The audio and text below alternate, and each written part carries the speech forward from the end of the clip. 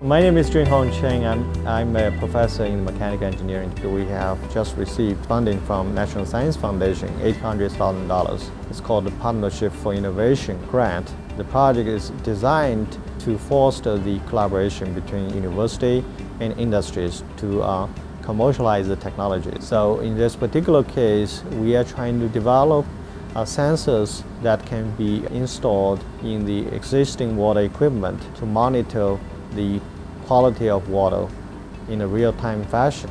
So we partner with a few uh, water companies in the area, A.O. Smith and Badger Meter, and also a startup company from uh, UWM, actually NanoAffix Science. Partnership with industry serves as a catalyst to um, uh, transfer the technology from, uh, from our laboratory to the market. So we try to develop these uh, sensors uh, that can be installed in the A.O. Smith water purifiers and Badger Meter water meters and also handheld devices.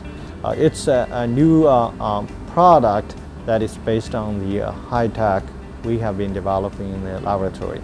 Uh, we already put together a uh, prototype device here. It's a handheld device that can measure heavy metal ion concentrations in the water.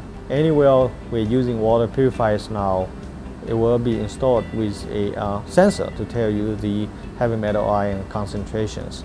For this project, we specifically focus on the uh, heavy metal ions, but a similar type of concept can be used to monitor other contaminants, including bacteria.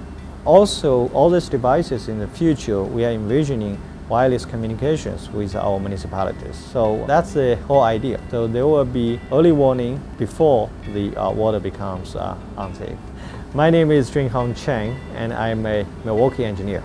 我叫陈军红，我是妙沃基工程师。